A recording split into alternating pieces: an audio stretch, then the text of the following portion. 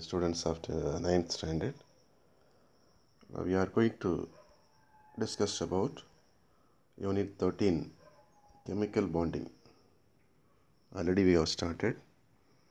Again, we are going to revise Unit 13 Chemical Bonding in your science book, uh, page number 148. You can refer the book. And in this lesson, we are going to learn about how molecules are formed and what is octet rule. And we are going to learn about the Lewis dot structure of atoms and understanding the different types of bonds and different characters of ionic bond, covalent bond, and coordinate bond, and types of uh, redox reaction and the oxidation number of different elements. All this we are going to learn. First, to see what is an atom. Atom already we learned.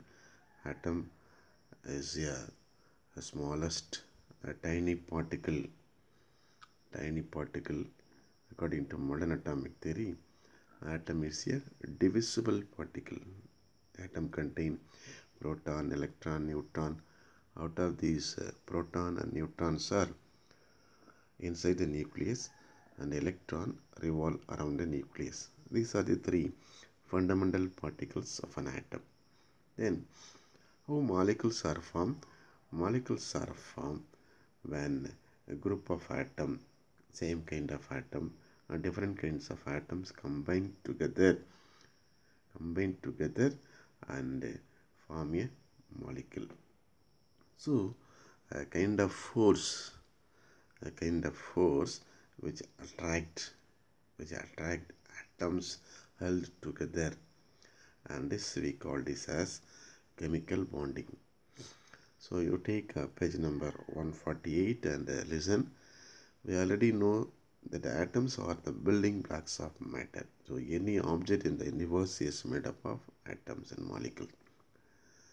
Under normal condition, no atom exists as independent. So always atoms are in the form of molecule except noble gases, helium, neon, argon like that. Because they are having stable electronic configuration in the outermost shell. However, a group of atoms is found to exist together as one species. The group of atoms is called molecule. So molecules are formed by the combination of atoms.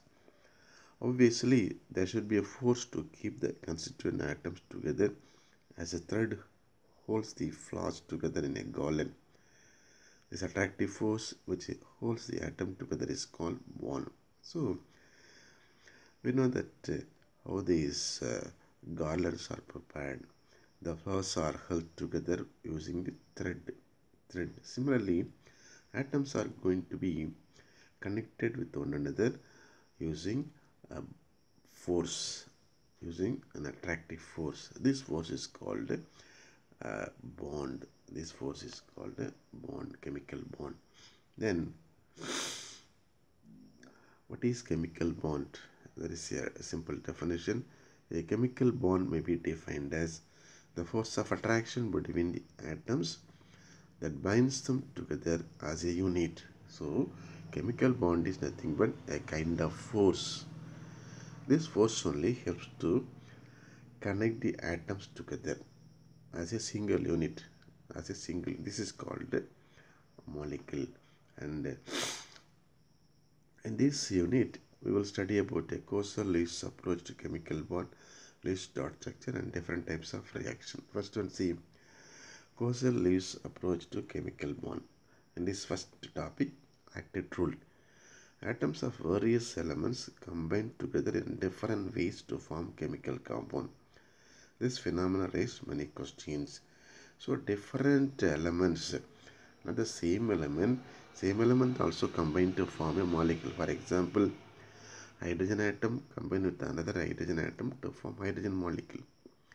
Oxygen combine with another oxygen atom to form oxygen molecule. Also, various elements combine together to form a chemical bond. Then, next to see, why do atoms combine?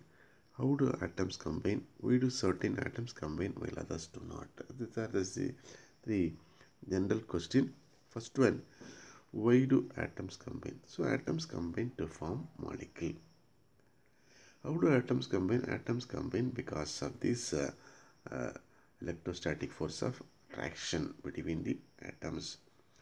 Then why do certain atoms combine. So atoms uh, which are having stable electronic configuration in the outermost shell will not combine. Atoms which are having stable electronic configuration stable electronic configuration means atoms having 8 electron in the outermost shell like rare gases argon neon like that they will not combine. But all the other atoms which are having one electron two electron or three four electron outermost shell they are uh, donate or accept electrons and get stable electronic configuration. By this way they are going to combine with another atom to form a molecule. Now see to answer such questions different theories have been put forth from time to time one of such theories which explain the formation of molecule is Kossel-Lewis theory Kossel and gave successful explanation based upon the concept of electronic configuration of noble gases about why atoms combine to form molecule. Atoms of noble gases have little or no tendency to combine with each other or with atoms of other element. This means that these atoms must be having stable electronic configuration. The electronic configuration of noble gases are given. In this part it is given why the noble gases are not combining, not having the tendency to combine it because they are having stable electronic configuration. Stable electronic configuration. So atoms are having stable electronic configuration will not ready to combine with any other element. Then next see what is the configuration of noble gases? See in this tabular column it is given helium atomic number 2 so only two electrons. Atomic number means that uh, uh, explain the number of proton or number of electron. So two electron which is in the first shell. The first cell is completely filled. The neon 10 electron 2 comma 8 argon 18 2 8 8 krypton 36 2 8 18 8 xenon 54 2 8 18 18 8 and radon 86 2 8 18 32 18 8 so in all these except helium the outermost shells are completely filled by the 8 electrons. So an atom having 8 electrons outermost shell and it satisfies the rule of 8 at rule. And these uh, atoms are stable in their electronic configuration they will not uh, ready to donate or share electrons and will not uh, going to form a chemical bond will not involve in the chemical bond.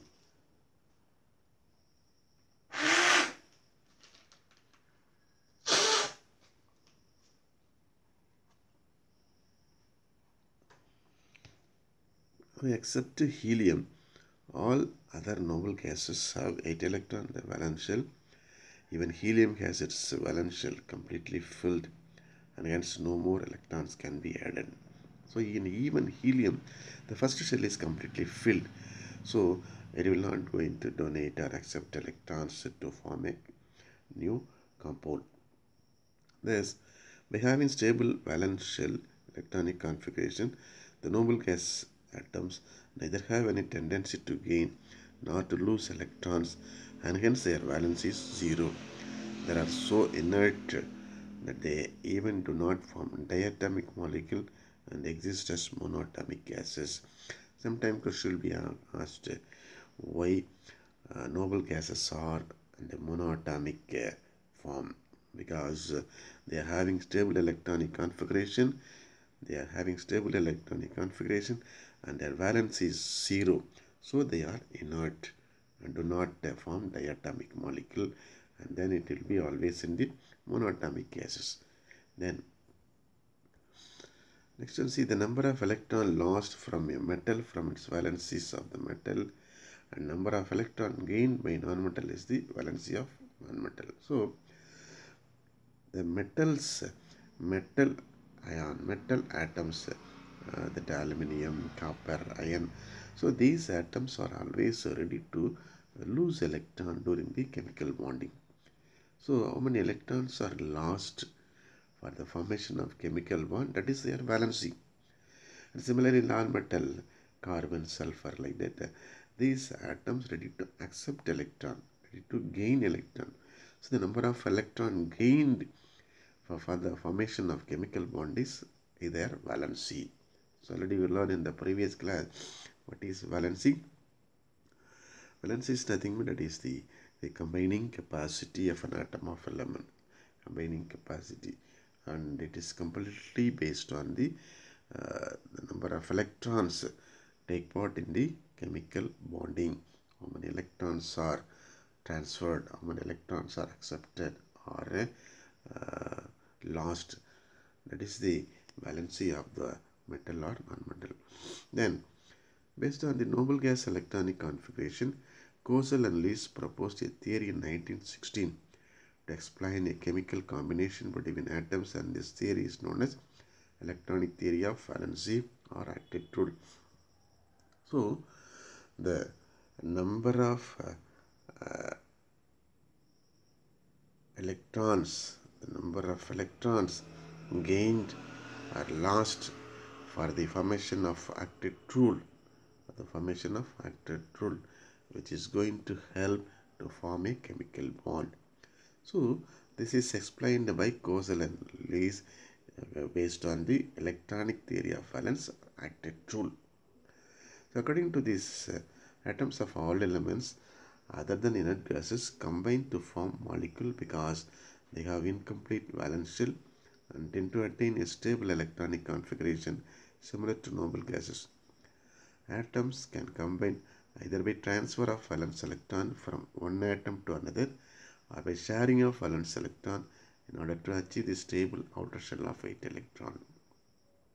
So there are uh, uh, different types of uh, formation of chemical one and the first one is see how the atoms uh, transfer electron. Some atoms already we learn in this uh, more to know that uh, metal atoms are always donate electron. Metal atoms are always donate electron and when they are going to lose electron they are going to be electrically positive in nature. When electrons are lost automatically the atom is going to be electrically positive or electropositive character. Metals are electropositive in character but non-metals are they are ready to accept electron, gain electron.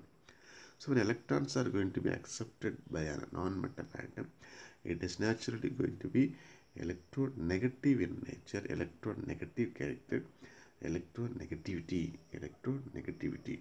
And see here, so the loss of electron or gain of electron to achieve 8 electron outermost shell that is called octet rule or rule of 8. So there is a simple definition. The tendency of atom to have 8 electron in the valence shell, to have 8 electron in the valence shell is known as octet rule, the rule of 8. Acta, acta means 8. Octet rule that is uh, having 8 electron in the outermost shell, having 8 electron. So how these 8 electrons are going to be obtained? By gaining or losing electron. By gaining or losing electron. This type of uh, uh, transfer of electron take place during the chemical bonding. Then for example sodium with atomic number 11 will readily lose one electron to attain neon stable electronic configuration. So atomic number of uh, sodium is 11 what is the meaning of that? Atomic number I mean that uh, sodium having 11 proton in the nucleus also having 11 electron around the nucleus 11 electron around the nucleus. When we going to write electronic configuration for this sodium 2 comma 8 comma 1 will come. K shell 2 electron and l shell 8 electron then M shell, one electron. So the one electron, the outermost shell, that electron is going to be donated. It is going to be lost. When it, the electron is going to be lost, it's going to have 8 electron in the outermost shell. The outermost shell, the L shell going to have 8 electron. And similarly, you take chlorine. Atomic number of chlorine is 17 and when you going to write configuration 2 comma 8 comma 7 K uh, shell 2 electron L shell 8 then M shell 7 so 7 electron outermost shell it uh, need only 1 electron to have 8 electron outermost shell so it's going to accept that 1 electron which is uh, lost by sodium. So it's going to be 2 comma 8 comma 8 and get the nearest noble gas configuration of argon. So sodium gaining the neon stable configuration by losing one electron and chlorine going to attain that is uh, nearest noble gas argon configuration by gaining one electron.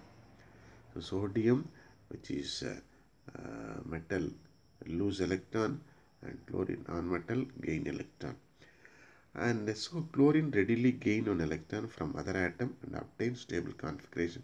Thus, elements tend to have stable valence shell either by losing or gaining electron. So, the loss of electron or gain of electron help the atom to have 8 or to satisfy the rule of 8. A simple uh, uh, explanation is illustration is given here. See, sodium atom uh, 2 comma 8 comma 1 the first shell the first orbit 2 electron second orbit 8 electron third that is a klm then here the outermost shell one electron is uh, lost loss of electron. So after losing one electron the atom will not be furthermore called as an atom. It is going to be an ion. It is going to be an ion. Sodium cation positively charged ion because one electron is lost going to be naturally electropositive. So sodium uh, cation. Then similarly you take uh, chlorine chlorine. Chlorine configuration 2 comma 8 comma 7 2 electron in the first shell 8 electron in the uh, next shell then 7 electron in the outermost shell 2 comma 8 comma 7 so it's going to gain one electron. It's going to gain one electron that electron which is uh, lost by the sodium atom. And uh, by this way it also going to have 8 electron in its outermost shell so here so one electron is excess. One electron is excess compared to the number of proton. So it's going to be naturally electrically negative in nature. It is going to be uh, chloride anion chloride anion. Anion means this uh, electronegative. Then which atom tend to lose electron? Which are tend to gain electron? Atoms that have one two or three electron in the valence shell tend to lose electron whereas atoms having 5 6 7 valence electron tend to gain electron. So atoms that have 1 comma 2 comma suppose uh, CRC sodium 1 electron and magnesium having 2 electron aluminum will have 3 electron so normally that uh, metal atoms are going to have this type of uh, electrons 1 or 2 or 3 electron shell they are ready to lose. And the non-metals they are going to have 5 6 or 7 electron. They are ready to accept electron accept electron. And next see table 13.2 the unstable electronic configuration and I say take a boron atomic number 5 configuration 2 comma 3 and valence electron 3 nitrogen 7 2 comma 5 valence electron 5 valence electron means electron present in the outermost shell of an atom.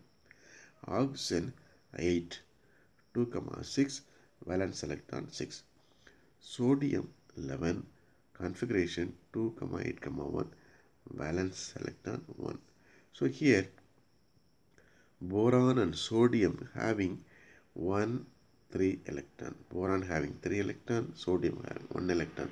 So these atoms are ready to uh, donate the electron but nitrogen oxygen having 5 6 they are ready to accept electron for the formation of uh, 8 electron in the outermost shell to satisfy the rule of 8 so by this way it's going to get a stable electronic configuration to satisfying the nearest noble gas configuration and to satisfying the rule of 8 they are going to be stable in nature and uh, ready to uh, have a chemical bond ready to uh, give a new form of a compound.